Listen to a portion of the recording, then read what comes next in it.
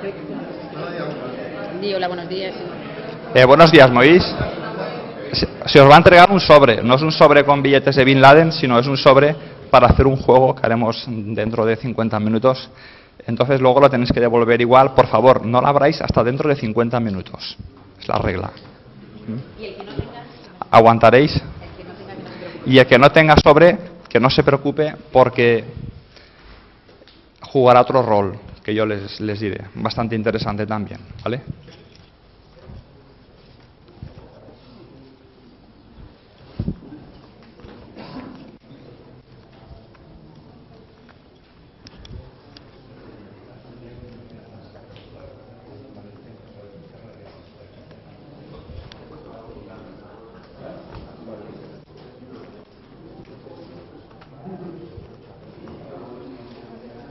Vale, esto aquel chico. Y luego, a ver, estos tres para allá.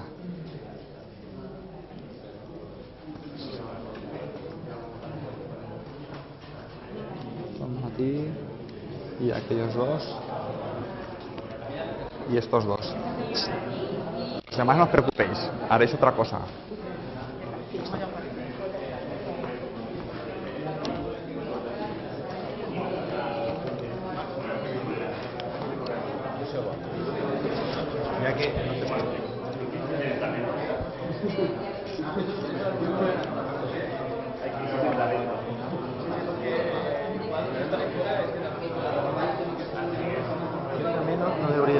No, fa falta sentirte tú. Estic una mica fònic, però ells me senten bé, no? Te sentirás. A veure, Te voy a avisar ahí Si no, cuarto, que son y media. chaqueta. però què passa? Te aviso ahí cuarto, que son y media. Vale.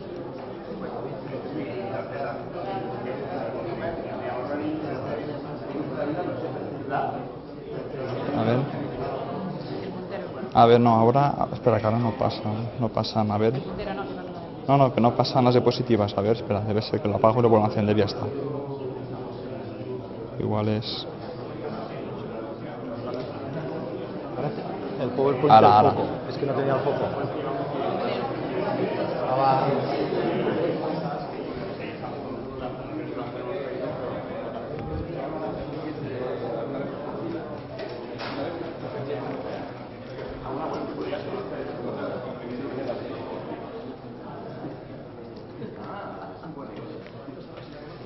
Bueno, buenos días. ¿Me, escucháis bien por el final? Este, vamos a ver, se ha retrasado un poquito, tenemos... Os voy a contar un poco lo que vamos a hacer, ¿vale? Para que seáis conscientes todos y tengáis una idea de, de lo que vamos a hablar. Son las 11 y, y 28, 11 y media. Tenemos una, una horita y media, ¿no? Al final. 11 y media, más o menos los primeros 50 minutos, hasta las 12 y media, un poquito antes, 12 y 20, hasta las 12 y 20, vamos a hablar sobre lo que es el workshop. Va a ser una tipo conferencia. Voy a hablar sobre cómo, cómo montar un workshop Kaizen, cómo convertir tu organización en una organización Lean. Y la segunda parte va a ser un juego que haremos aquí entre todos para sacar una serie de conclusiones que creo que son o serán bastante interesantes. La primera parte la voy a dividir a su vez en, en dos.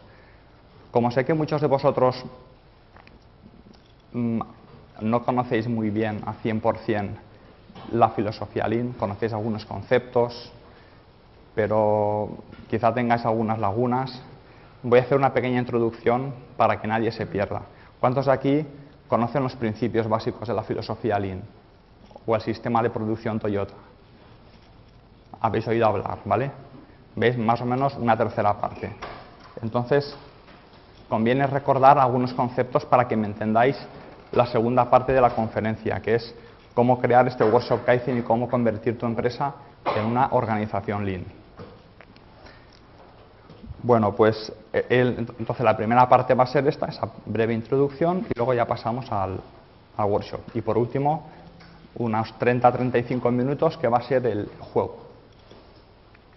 En primer lugar, la palabra Lean se o la filosofía Lean ya se conoce como Lean Production en fabricación, en, en general, sistema de producción Lean, como Lean Manufacturing en la industria manufacturera.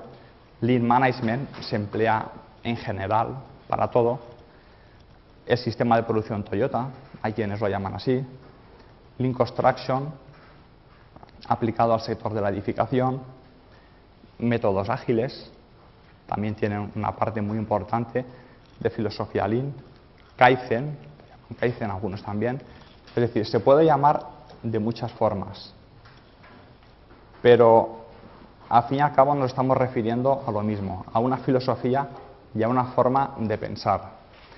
Para aquellos que no me conozcáis o que no hayáis leído el currículum en la página web de la conferencia, mi nombre es Juan Felipe Pons y yo procedo del sector de la edificación, doy clases en el sector, doy clases en ingeniería industrial y algunos diréis, ¿y qué haces tú dando una conferencia de Lean para informáticos? ¿no? Bueno, pues hace tres años, dos años y medio, tres, descubrí la filosofía Lean, la filosofía Toyota y decidí cambiar. Desde entonces prácticamente os puedo asegurar que lo he dejado casi todo para dedicarme a esto. Casi, casi, no os digo a tiempo completo, pero prácticamente casi todas las horas del día las empleo en esto. Además estoy haciendo una tesis doctoral sobre cómo aplicar esto al sector de la edificación. Un sector difícil, igual que el vuestro, porque no es el sector manufacturero. Todo esto en principio se piensa para el sector manufacturero de las industrias.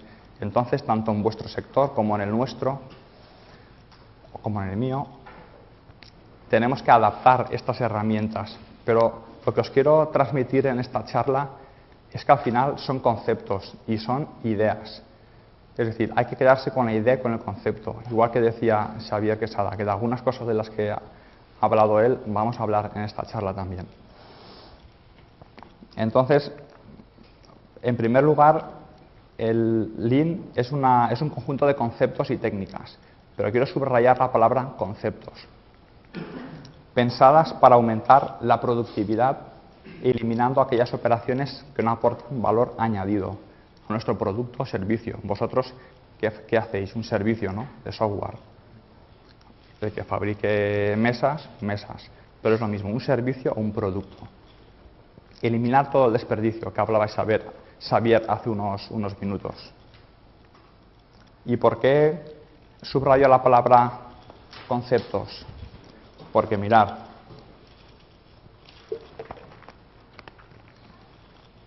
No sé si alguien ha visto una diapositiva parecida a esta.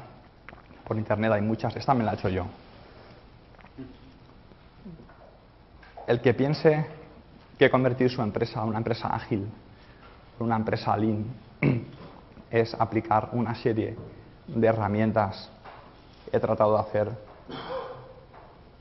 una especie de, de analogía. Bueno, esto lo he encontrado en la página vuestra, de vuestra institución, digamos, el que piense que aplicar la filosofía Lean es aplicar una serie de técnicas se equivoca. Representa aproximadamente el 30%. Sí que es verdad que aplicando un 10% o un 30% de aquí, de aquí cambiaréis vuestra organización, pero con el tiempo decaerá. ¿Qué es lo más importante de aplicar la metodología ágil o lean en una empresa o en una organización. Esto de aquí abajo. Esto de aquí abajo representa el 70%, es lo que no se ve, es, lo que no se puede explicar. Es lo que los ingenieros y directivos americanos, cuando en la década de los 70-80 empezaron a viajar a Estados Unidos, visitaban las fábricas de Toyota y Nissan, no comprendían. Veían una serie de paneles Veía una fábrica visual un poco más limpia que las suyas, un poco más de orden, pero esto no lo veían. Esto estaba oculto. Es una filosofía que había ido calando durante 30 o 40 años, a partir de después de la Segunda Guerra Mundial. ¿Y qué es esto? ¿Qué se esconde? Respeto a la humanidad, respeto a las personas. La filosofía Lean, las metodologías ágiles confían mucho en las personas, en el potencial humano, en el potencial que tiene cada persona. Se desperdician en las empresas este potencial todos los días. Personas con unas capacidades, habilidades, con unos talentos, por ejemplo en informática se me ocurre, el año 97 estaba trabajando en Valencia, en una empresa, teníamos dos informáticos con mucho talento, desarrollando software para calcular estructuras prefabricadas de hormigón en la empresa en la que yo trabajaba. Y se pasaban la mitad del día resolviendo problemas de usuario, como se me ha colgado Windows o el ratón no me funciona. Entonces, eso era un desperdicio. El desperdicio de estas personas que estaban ahí por cosas mucho más importantes, como desarrollar su talento en diseñar un programa que nos fuera útiles, se perdía enseñándonos cosas de usuario de Windows, cuando hay una técnica Lean o ágil también se puede decir, que es TPM, mantenimiento productivo total, que consiste en enseñarle al usuario unas pequeñas herramientas para que él se mantenga su máquina, en este caso su ordenador. ¿Mm? Entonces, con esas poquitas cosas que cuestan media hora, o montar un cursillo en la empresa de no muy largo, de 12 o 15 horas como máximo, se le enseña al usuario una serie de herramientas, mientras tanto el usuario se sabe arreglar su equipo y solo llama al informático o al programador para cosas importantes de verdad. Mientras tanto, el programador este, está haciendo para lo que realmente le han pagado, que es para programar, no para resolver problemas de un usuario. Esto ocurre muchísimo en las empresas. Bueno, os cuento muy, muy brevemente cómo surgió la idea de Lean. Muchas personas no ¿Cuántos de aquí conocen ¿Conocen cuándo surgió esta filosofía? ¿Qué pensáis?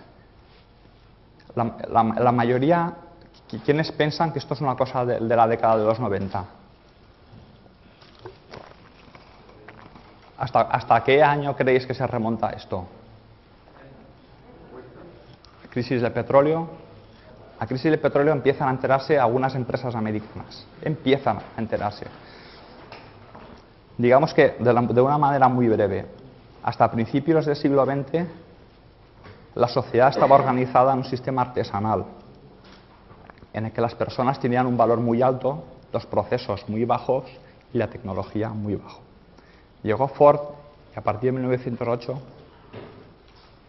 creó, diseñó lo que hoy en día conocemos, en ese momento no, pero hoy en día se le llama como producción en masa, que en Estados Unidos arrancó en 1908 y en Europa, como siempre, mucho más tarde, en 1945. Coincide con el final de la Segunda Guerra Mundial. Valor de las personas, bajo. Para Henry Ford, cualquier retrasado mental podría fabricar uno de sus coches, con perdón de la palabra. Procesos, alto. Tecnología, muy alto. Yo invierto un millón de dólares para que esta máquina me lo haga todo, pero la persona, una persona sin brazos puede construir mi coche. El IN, ¿cuándo aparece el IN? El IN en verdad es un concepto que se acuña por primera vez en 1990, pero sus raíces están en la filosofía Toyota, en el sistema de producción Toyota. En Japón empieza a desarrollarse después de la Segunda Guerra Mundial y en Estados Unidos no empieza a aparecer hasta 1990, cuando James Womack y Daniel Jones, si alguien, ha, leído el libro La máquina que cambió el mundo, os lo recomiendo, por favor, La máquina que cambió el mundo. Daniel, eh, James Womack y Daniel Jones. Os explicará cómo, cómo, pasó todo esto. Entonces, la filosofía Lean o la filosofía Toyota le da la diferencia que tiene respecto a, la, producción en masa es que le da a las personas un valor altísimo, un, alto respeto por la humanidad y por las personas que trabajan en la empresa. Bueno, muchos diréis, eh, Xavier Quesada ha hablado de, Argentina, de España, de productividad. ¿Por qué hemos de aplicar Lean ahora en nuestras empresas o sistemas ágiles? ¿Por qué es necesario? Xavier lo ha explicado, para eliminar todo ese desperdicio, para ser competitivos. Todos los años el World Economic Forum, desde hace cuatro o cinco me parece, publica un informe de unas 100 páginas donde enumera los, una lista de 150 países aproximadamente y los ordena en productividad. Nosotros ocupamos, en el informe de este año que ha salido hace cuatro días, que tenido que actualizar esta, esta diapositiva hace, hace dos, nosotros estamos en el puesto 36 en productividad. Hemos, hemos mejorado, no sé por qué criterios, pero parecía que íbamos a ir hacia atrás, pero hemos subido del puesto 42 al puesto 36. Fijaros. Estamos moviéndonos en el entorno de países como Estonia, Kuwait, Puerto Rico, Bahrein, República Checa, Tailandia, Túnez, Polonia, Barbados o Italia. Estamos ahí en ese grupo. Bueno, ¿por qué os, he puesto esta, esta diapositiva? Fijaros, primero para saber dónde estamos nosotros objetivamente. Después, para que veáis quiénes son los 12 primeros países. Son países que, si os dais cuenta, la mayoría son fabricantes de automóvil, de donde nace todo esto, y la mayoría llevan ya décadas aplicando sistemas ágiles y metodología Lean. ¿Por qué están ahí? ¿Será casualidad? No lo sé, pero algo diferente a nosotros y a los argentinos, que decía Xavier, están haciendo. Se están moviendo en otro terreno. En España esto ha empezado tarde, sí que es verdad que ha empezado con, con bastante fuerza. Grupos como el vuestro es muy importante que estén apoyando esto. En mi sector también hemos creado otro mucho más joven que el vuestro, aplicado a la edificación hace solamente unos meses, pero también esperamos difundir esto. Y al final de la crisis solo vamos a llegar de una forma, entre todos nosotros, entre todos los que estamos aquí. Me ha hecho gracia lo que ha dicho Xavier de que Bélgica está funcionando dos años sin gobierno. Es que los gobiernos no nos van a sacar de la crisis, ni de un color ni de otro, ni los sindicatos, ni las organizaciones religiosas, nadie. De la crisis vamos a salir entre todos, uno a uno, persona a persona, empresa a empresa. Las empresas que decidan dar un paso adelante y moverse. ¿Y dónde nos tenemos que mover? Como tradicionalmente, si seguimos haciendo las cosas como antes, ¿cómo nos va a ir?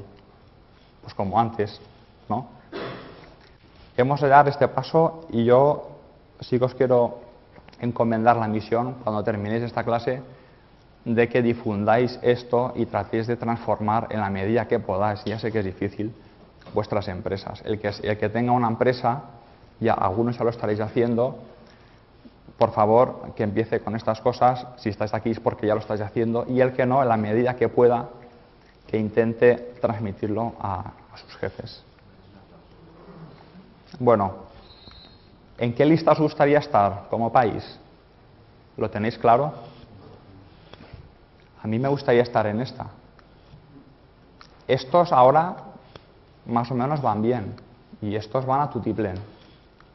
¿Dónde estamos? En el peor sitio donde podíamos estar. En medio. ¿Por qué es el peor sitio? Porque estos tienen una mano de obra cara, pero una alta productividad. Y estos de aquí tienen trabajo. Que si queréis trabajar ahora en, este, en estos momentos, iros a estos países. Tienen una mano de obra muy barata, no a nivel de directivos, sino a nivel mano de obra, y una productividad, vamos a decir, media, porque tampoco es baja. Ojo, esto es la productividad, podría ser baja hace 20 o 30 años, pero ahora ya empieza a ser una productividad similar a la nuestra. De hecho, en esa lista de ciento y pico países, algunos ya están cerca de España. ¿Y aquí quiénes estamos? Pues los que tenemos problemas. Mano de obra cara y una productividad media, digamos. Si queremos estar aquí y tener sueldos de países como Japón o Estados Unidos, ¿qué tenemos que hacer? Reducir los desperdicios, que decía Xavier. Eliminar todos los desperdicios que se generan en una empresa, que son muchísimos.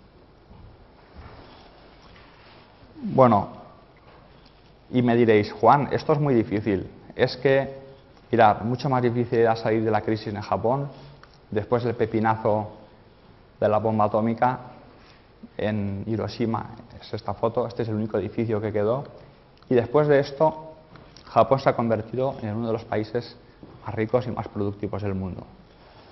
Entonces, no hay ninguna excusa que sirva. Taichi Ono, del que ha hablado Xavier también, fue el ingeniero. Os recomiendo su libro El sistema de producción Toyota. Sistema de producción Toyota, de Taichi Ono.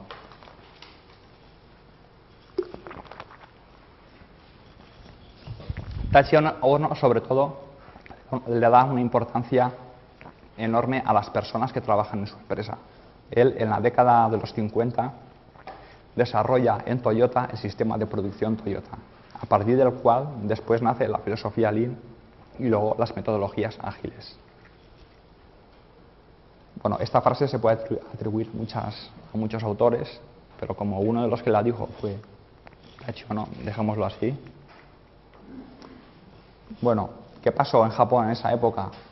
Había una producción de pequeñas cantidades. ¿Qué pasa ahora también? ¿Pasa ahora eso? La gente que pide pequeñas cantidades de muchas variedades y más en software, vosotros lo sabéis. Muy, muy producto muy flexible, muy ajustado a, cada uno. No, no, yo lo quiero así. No, yo, yo lo quiero de color rojo, yo azul, yo que me haga esto, yo con un botoncito aquí. Y en condiciones de poca demanda. Estas son las condiciones que habían aquí. Y no son muy diferentes las que tenemos ahora en España. No son muy diferentes y en el mundo en general. Entonces, a partir de aquí, Taichi Ono empezó a desarrollar este sistema. El Lean trabaja bien en economías de crecimiento lento. Vamos a estar unos 10 o 15 años, según todos los economistas, al menos los buenos, en periodo de cero o muy poquito crecimiento.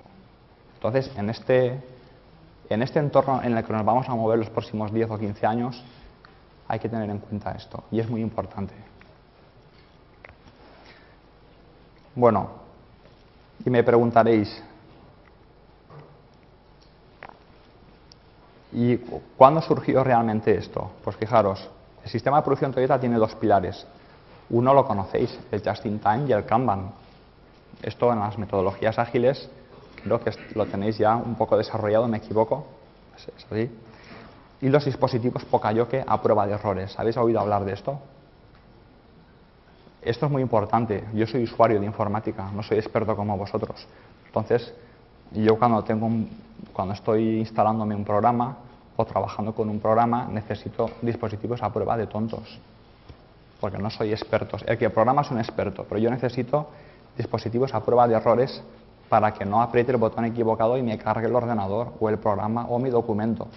Entonces aquí tenéis un campo importantísimo y al cual me han dicho que todavía queda mucho por hacer, en el cual los programadores podéis trabajar.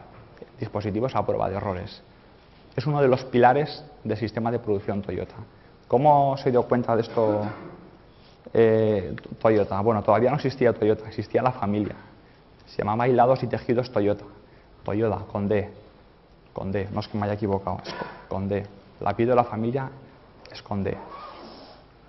Entonces, Sakichi Toyoda, quien fundó la, compañía, el grupo, observaba concretamente, observando a su abuela tejer en una pequeña fábrica que tenían en Japón, con las máquinas de telares antiguas, se dio cuenta de que cada vez que se rompía un hilo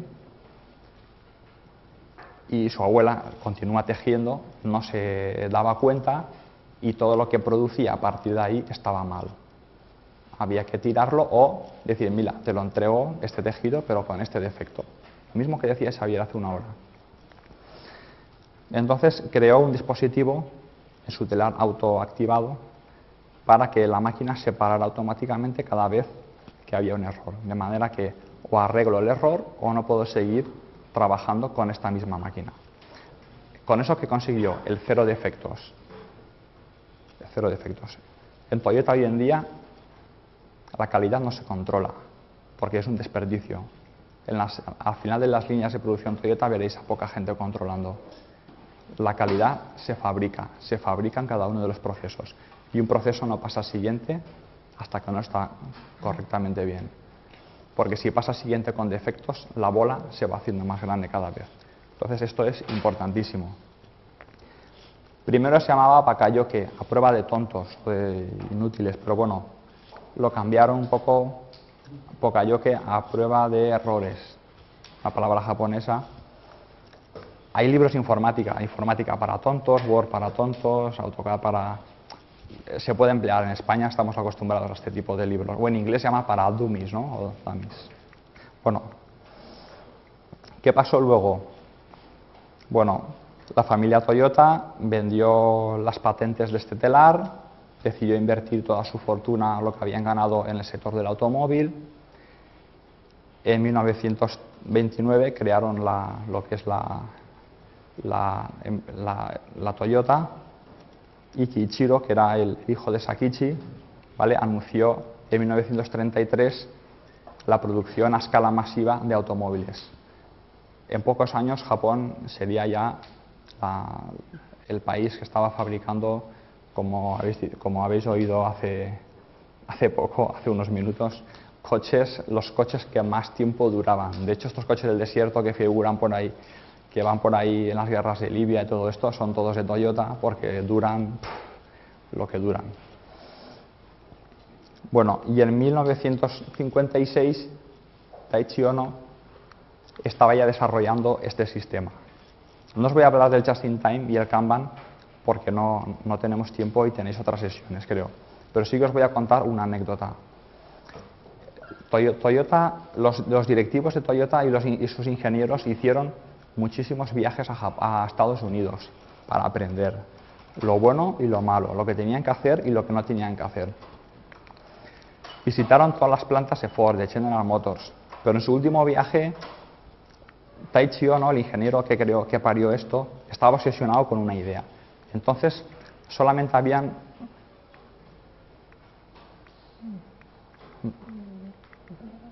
os lo cuento porque he quitado la diapositiva.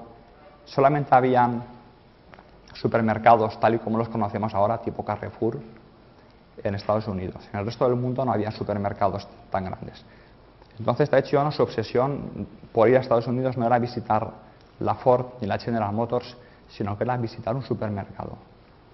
¿Por qué? Porque es un, supermercado, él pensó desde Japón, donde habían tiendecitas ultramarinos como las que habían aquí después de la guerra o antes de la guerra incluso. Un supermercado es un sitio donde tú entras, coges lo que necesitas, cuando lo necesitas y en la cantidad en que, en que lo necesitas. Entonces tú entras allí, coges lo que quieres y siempre hay de todo. Y se va reponiendo todo. Y de ahí salió la idea del Kanban. El Kanban es la herramienta para conseguir ese flujo continuo en los procesos, que no se pare, que no se interrumpa y que haya flujo.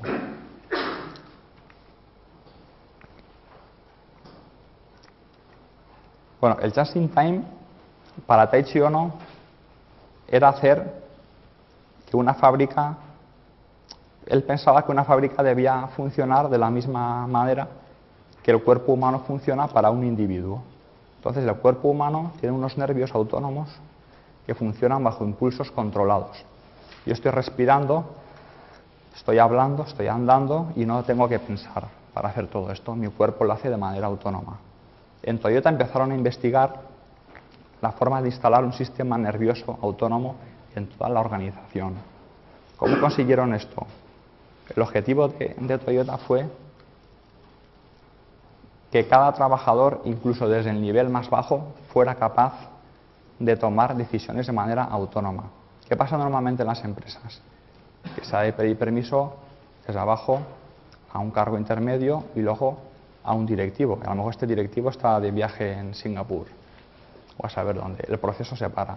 Quizá la empresa, una idea, estás desarrollando un software, un videojuego, una película de Pixar, lo que sea, y dependes de una decisión que tiene que tomar alguien que está tomando café en un sitio cuando la podías tomar tú perfectamente. Para finalizar este, esta introducción, os voy a decir que Toyota no hizo otra cosa que copiar las mejores prácticas de Ford. En 1926 Ford escribió este libro, Today and Tomorrow, donde recoge no solamente todo lo que estaban haciendo, que en ese momento era muy bueno, era un cambio muy, radical al sistema tra- tradicional de producción, sino que recoge una serie de ideas que él nunca llegó a desarrollar en vida. ¿Por qué? Porque en ese momento tres compañías americanas producían y vendían el 70% de los automóviles en todo el mundo. Entonces, ¿para qué innovar si no tenemos competencia? Aunque hagamos coches malos, los reparamos, que los repare la gente en los talleres. Era otra época. La época de despilfarro ha pasado y ha pasado seguramente lo que nos quede de vida. Eso quiero que lo tengáis, lo tenéis más o menos todos claro. Aquí no se tira nada ya. Aquí se compra algo y tiene que funcionar sí o sí. Entonces, Toyota copió las mejores ideas de este libro.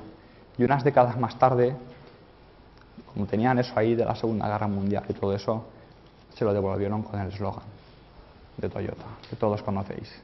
Today, tomorrow, y después el tomorrow viene Toyota. Os voy a hablar un poco de- del valor añadido y el muda. ¿Conocéis la palabra muda? La palabra japonesa. Que levante la mano quien la conoce. La palabra muda es la palabra japonesa para quiere decir cualquier cosa que no aporta, que requiere tiempo, recursos, espacios, que no agrega valor al, al producto. Dice, Juan, defíneme en una sola frase qué es valor añadido. En una sola frase. Valor añadido es aquello por lo que el cliente te paga. Aquello por el que el cliente no te paga no es valor añadido. ¿Cuántas tareas de estas hacemos en la empresa cada día? En cualquiera, ¿eh? Informática, en construcción, fabricación. ¿Cu- ¿Cuánto tiempo empleamos en tareas que no aportan valor añadido? Bueno, Taichi Ono hizo esta comprobación en las fábricas de Toyota y comprobó que entre el 90 y el 99% de lo que hacemos en una empresa habitualmente no aporta valor añadido. Es decir, que son tareas que la mayoría se pueden eliminar y la mayoría se pueden mejorar. Y a mí la gente me dice, no me lo creo, Juan, que entre, me estás insultando, que entre el 90 y el 99% de lo que yo hago en la empresa sea desperdicio, no, no me lo puedo creer. Bueno, hay muchísimos estudios sobre esto, se ha investigado mucho, han salido muchos papers, muchas eh, conferencias, mu- muchísimos científicos e investigadores han publicado muchos artículos sobre esto, lo han comprobado, yo mismo lo he comprobado en fábricas y es verdad. Yo cuando decidí dedicarme a esto, primero que nada, me hice una lista de las personas que más sabían en el mundo de Lean aplicado a la edificación y me decidí conocerlas a todas en tres años. Empecé el año pasado, estuve en Inglaterra, en la Universidad de Salford, donde está el, padre que inventó esto. No sé si vosotros en los sistemas ágiles tenéis un padre que haya inventado y acuñado el término. No sé cómo se llama, ¿conocéis el nombre? ¿Quién? Ah, entonces yo me fui a conocer a esta persona en Inglaterra. Una persona fantástica, le mandé un correo, me invitó y estuve una semana allí con él. Estuvo explicando. Como todo el mundo pone el gráfico de, de Jeffrey Licker, que es otro gurú del lead management, yo he puesto el suyo pues, porque lo conozco personalmente, ya está. Entonces, esta persona, igual que Jeffrey Licker y muchos otros, se dieron cuenta que en un proceso donde hay movimientos, esperas, inspecciones, controles, al final solamente entre el 90 y el 99, entre el 1 y el 10% de lo que hacemos diariamente en una empresa aporta valor añadido. ¿Y por qué es tan difícil de, eliminar el desperdicio? Porque no lo vemos. Porque tareas que pensáis todos y cada uno de vosotros que aportan valor al cliente, en verdad no están aportando valor añadido. Entonces lo primero que hay que hacer es aprender a ver. Os recomiendo un libro generalista también, como los que ha presentado Xavier Quesada, que se llama Learning to See, aprendiendo a ver. Learning to See, aprendiendo a ver, en el que os da un poco las claves para poder descubrir en una empresa todos estos desperdicios. Primero, normalmente el desperdicio está oculto. ¿Oculto qué quiere decir? ¿Que está escondido debajo de la mesa? No, está escondido porque pensamos que, que eso no es un desperdicio, pero realmente lo es. Entonces, primero, para poder eliminar los, desperdicios, ¿qué hemos de hacer? Cuando digo desperdicio no digo, no me refiero a desperdicio residual. Es que, en construcción algunos se equivocan y cuando explico esto en construcción se piensan que es residuo. Cuando digo despilfarro me refiero a, a consumimos recursos innecesariamente. Primero hay que saber cuáles son. La mayoría de vosotros lo podéis encontrar por internet de muchísimos sitios, las siete mudas de Taichi Ono. Taichi Ono en las fábricas de Toyota se dio cuenta que la mayoría de fallos de calidad que se producían, o parones en la fábrica, o desperdicio, se producían por estos siete, por estas siete mudas. que son exceso de producción, tiempo de los trabajadores parados esperando que un proveedor de otra empresa estáis diseñando un videojuego, estáis esperando los gráficos que os tiene que pasar, no lo sé, el que diseña la arquitectura, la arquitectura me refiero a los decorados de la Segunda Guerra Mundial, entonces vosotros no podéis continuar si no tenéis ese material. Entonces, como no hay flujo, estáis así esperando varios días hasta que tengáis ese material y seguir avanzando en un juego, en una película, en un programa. Os, os puede pasar esto en informática. Estar esperando varios días a que alguien...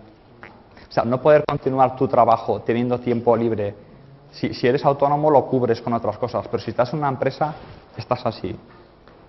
Estás así, esperando que otro te traiga lo que tú tienes que hacer. Transporte, algunos en informática es más difícil ver la similitud, pero bueno, cada uno de vosotros lo podéis ir pensando.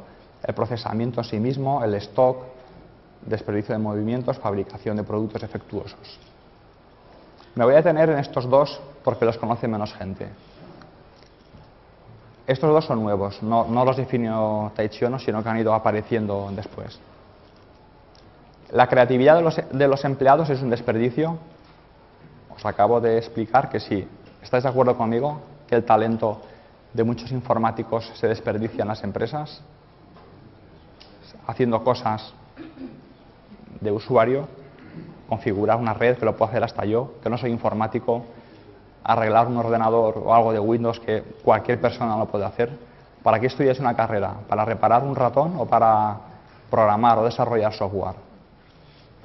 Dejar que otros hagan esas tareas y vosotros dedicaros a lo que tenéis, a lo que aporta valor a la sociedad, que es crear programas que además de aportar un valor a la sociedad, ayuden a la gente a mejorar en su vida diaria. Y Lauri Koskela, este ingeniero que conocí hace un año,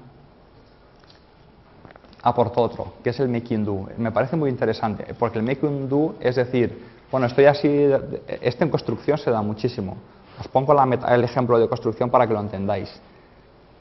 Eh, están construyendo una tabiquería en una vivienda pero no tenemos los planos definitivos. No, pues empieza a poner el tabique aquí. No, pero es que a lo mejor es que en vez de aquí es, es, es un poquito más para acá. No, pero yo creo que es ahí. Además, vosotros ir tirando, no, no estéis parados. Esa palabra la habréis oído. No estéis parados. Ir, ir trabajando. Para estar parados, ir trabajando. Y luego ya vendremos, lo tiraremos y lo, lo pondremos en el, sitio que toca. En informática esto seguro. Que no, ves haciendo y has desarrollado una currada de una parte de un juego, de un videojuego, de una película, de lo que sea, por ir haciendo y todo esto a la papelera, porque ese no era el personaje que tenías que poner, o esa no era los zapatos que tenía que llevar, o el, pelo o el color del pelo que tenía que tener. ¿Y, ¿Y cuántas horas se han perdido así? Muchísimas. Es mejor parar a veces.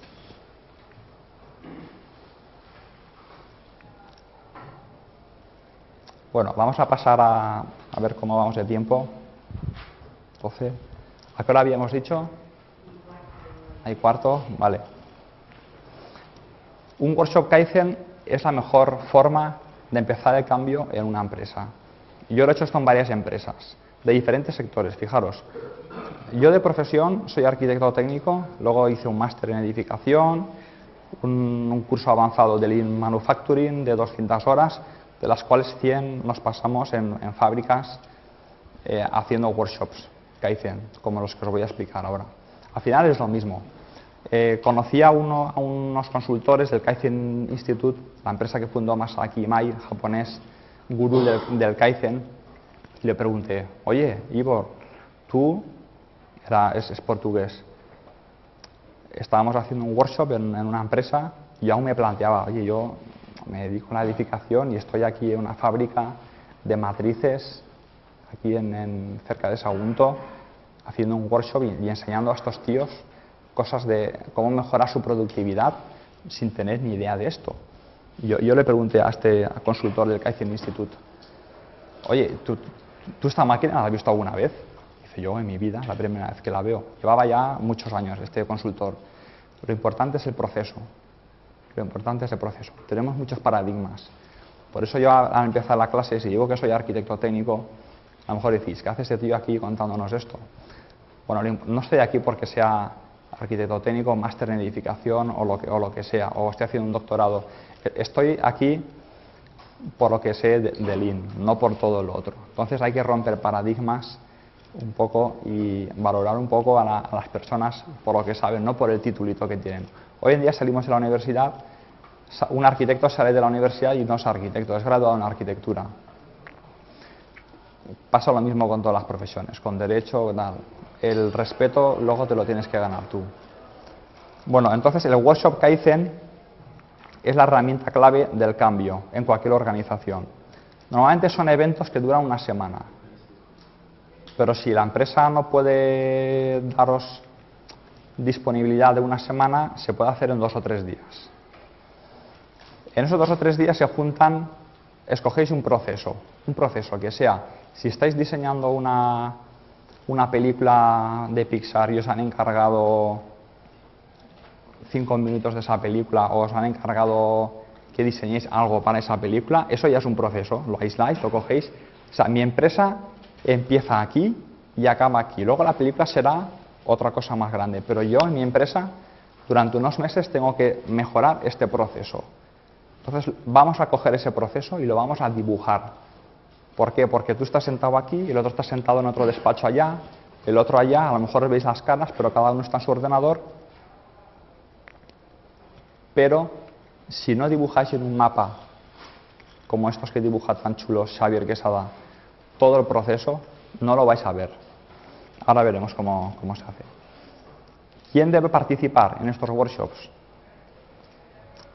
Algún directivo normalmente os costará, ya os aviso, pero al menos un cargo directivo o un, car- un cargo de director de la empresa, aunque, aunque no sea directivo gerente, un cargo de director de departamento, a- algún encargado, encargado de ese proceso y sobre todo los, los que lo hacen, los que lo hacen. En un equipo tenéis un líder, un jefe o varios jefes, pero sobre todo tienen que estar los que lo hacen.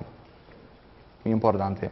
Máximo, máximo para que la cosa más o menos vaya fluida y vaya bien. 15 personas, recomiendo. Un workshop tiene, Kaizen tiene tres fases. Una fase de preparación, el workshop en sí, que es lo que he dicho que dura entre 3 y 5 días, y luego ya viene, se va al consultor, se va al maestro y os deja solos. Pero sí, os ha enseñado. A partir de ahí tenéis que trabajar vosotros día a día, que es el mantenimiento y la mejora continua, que es lo que nos falla. Muchas empresas empiezan a ser lean o ágiles y al año se dan cuenta que han fracasado, pero porque no han aplicado la tercera regla, que es mantener eso a lo largo del, tiempo. En la fase 1, ¿qué hacemos? Primero definir claramente el punto de partida, dónde arranca mi proceso y dónde termina. Eso es una decisión vuestra. Establecer unos objetivos, como, pero que sean medibles. Por ejemplo, ¿para qué hago el workshop? Para reducir plazos de entrega, para mejorar la calidad, para reducir costes y crear un mapa preliminar del estado actual. Mapa pre- preliminar en una, en una hoja, un DIN A3. Fase 2. Empezamos el workshop. En primer lugar, identificar las necesidades del cliente.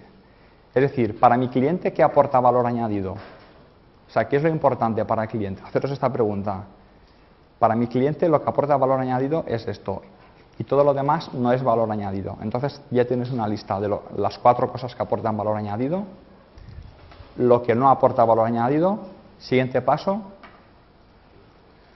En, en las fábricas Toyota se llamaba salir al Gemba, es decir, bajar del despacho a la planta y pasear por toda la fábrica a descubrir, ver dónde estaba la muda. En informática yo no sé cómo lo haréis, levantaros de la silla, pasearos por, el, por la oficina, empezar a ver, oye, ¿tú qué estás haciendo? Eh, me cuesta un poco verlo, pero estoy seguro, convencidísimo de que pasa, pasa, ¿no? Pasan estas cosas. Bueno, primero dibujáis un mapa del estado actual. Entonces, los participantes os he dicho que deben experimentar el proceso, es decir, tú que estás ahí y el que está allá, tenéis que conocer qué hacéis cada uno. Al final tú tienes que acabar conociendo lo que hacen todos los demás. El que está allí tiene que saber lo que hacen todos los demás. ¿Por qué? Porque tú le estás pasando material al otro para que continúe y a lo mejor si el otro te dice, oye, no, pues si en vez de pasármelo así, esto, me lo pasaras de esta otra manera, te darías cuenta que ahorramos un 20% a lo mejor en el proceso. Con lo cual, podemos bajar el precio un 5%, ser más competitivos y mantener el puesto de trabajo o incluso contratar a más gente. Identificar lo que es valor añadido y lo que no es quizá lo que más cueste al principio y establecer unos indicadores. Digo, y Juan, ¿y, qué indicadores pongo? Los que os sirvan. Ni muchos ni pocos, los justos y necesarios. Para mí un indicador bueno es mm, eh, cuántos, una película, por ejemplo, de Pixar, cuántos fotogramas bien a la primera hago cada día. Yo qué sé, se me acaba de ocurrir ahora. Cada uno tendrá los suyos. Entonces se dibuja en una sala que podáis tener disponible durante unas semanas para que todos puedan entrar, ver lo que se ha hecho y aquí tenéis todo el proceso.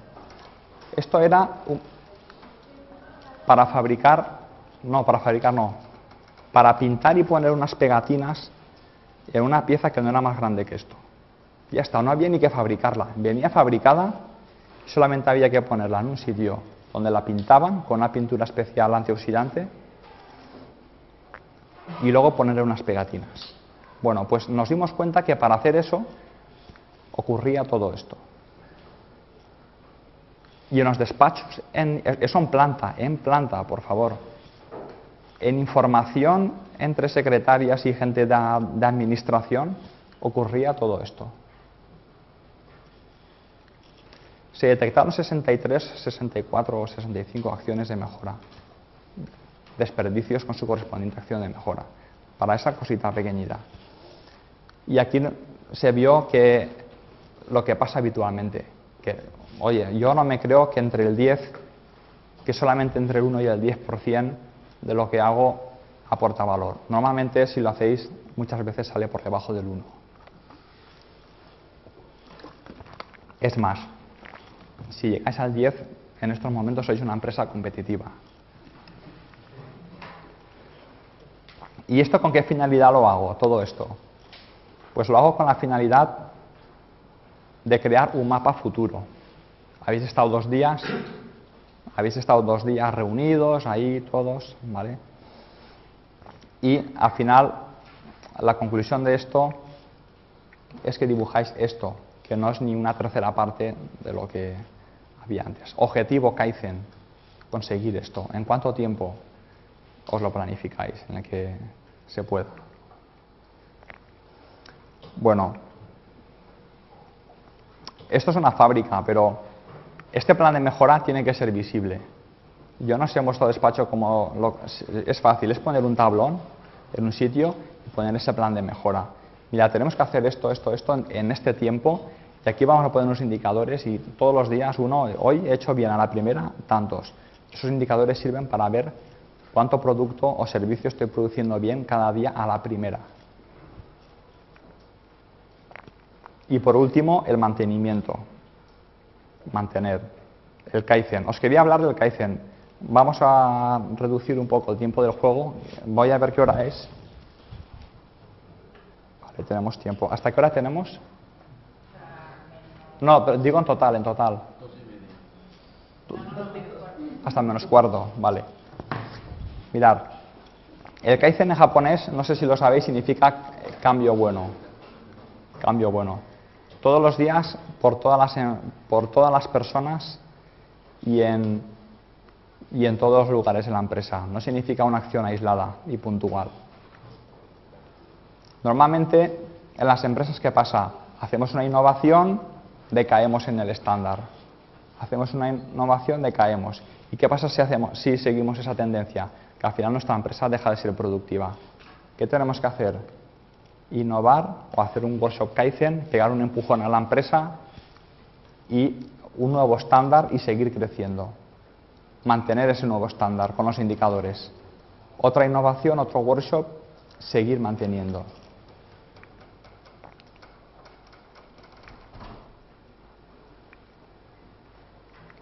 Bueno, os cuento esto de aquí porque se nos ha escapado un poco el tiempo sin querer. Mirad, tenéis que tener un respeto por el cliente, cosa que hasta esta última década de progreso no, no hemos tenido. ¿Qué ha pasado estos últimos 10 o 20 años de progreso? Pues que a mí me cuesta hacer esto tanto. Le cargo un margen y todo mi desperdicio se lo cargo al cliente. Y el cliente lo pagaba porque había crédito. Esto ahora no es así. ¿Qué pasa ahora? Que tenéis estos costes, los mismos que antes, pero el beneficio se reduce. Si seguís con este beneficio, vuestra empresa, tarde o temprano, concurso de acreedores. ¿Qué hay que hacer? La mejora. Hay que mantener los beneficios y todo esto es el desperdicio que hemos ir eliminando en las empresas. Bueno, os quería hablar un poco de la resistencia. Y me- dices, Juan, ¿qué, ¿qué es lo más difícil que me voy a encontrar en mi empresa? La resistencia al cambio. Lo más difícil. Llevo 20 años haciendo esto así, ¿por qué lo de hacer de otra manera? ¿No? Estas diapositivas las vais a tener luego, ¿no? En- colgadas en... Bueno, había creado un juego, pero no tenemos tiempo de... Y aquí un resumen, un pequeño resumen y pasamos ya a hacer el juego. Yo, Juan, dinos en cuatro ideas que tengo que hacer para que mi empresa, mi organización sea, sea alguien. Primero, generar valor para el cliente y para la sociedad. Si tu objetivo solamente es ganar dinero, al final os pasará que ganaréis dinero a lo mejor, pero luego iréis decayendo. Si no fabricáis un servicio o un producto que genere valor a la sociedad, vuestra empresa final va a acabar mal. ¿Por qué triunfa, por ejemplo, Apple? Apple gana mucho dinero, pero realmente ¿por qué triunfa?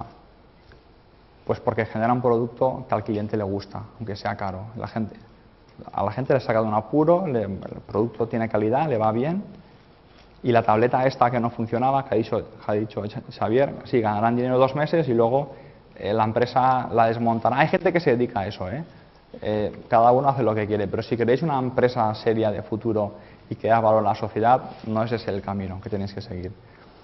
Luego, crear procesos de mejora continua, estandarizar todas las tareas que podéis, que podáis, crear un, un lugar de trabajo visual y transparente, ya sé que es difícil, pero hay que intentarlo, y sobre todo mucha comunicación dentro del equipo. En tercer lugar, desarrolla personas dentro de tu organización, importantísimo. Y respeta a los socios y a los proveedores. Trabaja con ellos para conseguir precios más bajos. No los aprietes para que te hagan descuentos, sino haz lo que, hacía, lo que hace Toyota con sus proveedores. Ayúdales a reducir sus costes. Y por último, conviértase en una organización que aprende mediante la reflexión constante y la mejora continua. Para acabar este bloque ya, la última diapositiva. James Womack y Daniel Jones en 1990 anticiparon esto. En su libro La máquina que cambió el mundo dicen, pero al final creemos que la producción ajustada, el, lean, lean production, suplantará tanto la producción en masa como los restos de producción artesana en todas las áreas de actividad industrial para convertirse en el sistema productivo estándar a nivel global del siglo XXI. Un mundo que ha de ser un lugar diferente y mejor. Esto lo dijeron en 1990 y ahora están viniendo todas las empresas a morir a esto. Es decir, las empresas, hemos de crear entre todos una sociedad mejor. Con empresas lean es posible. Yo lo he visto y cuando entras a una empresa que es lean, el ambiente de trabajo se nota. Se nota una barbaridad y el trabajador vuelve contento a su casa. Bueno, y esta ha sido la primera parte de mi presentación. Espero que, que os haya gustado, que, lo hayáis comprendido. Lástima que no tengamos más tiempo, me he tenido que saltar algunas cosas. Ahora sí que haremos un pequeño juego y de este juego sacaremos unas conclusiones y ya con esto finalizamos. Mirad, tenéis eh, tenéis un sobre de- delante, de la, numerado de la A a la D, de la A a la E, A, B, C, D, E. Os tenéis que juntar en grupitos de cinco personas. Los que no tengáis sobre, ahora os diré lo que tenéis que hacer. En, en grupos de cinco personas. ¿Vale? Pero todos con el mismo color. El que tenga... No, no, el mismo color en el sobre, en el sobre.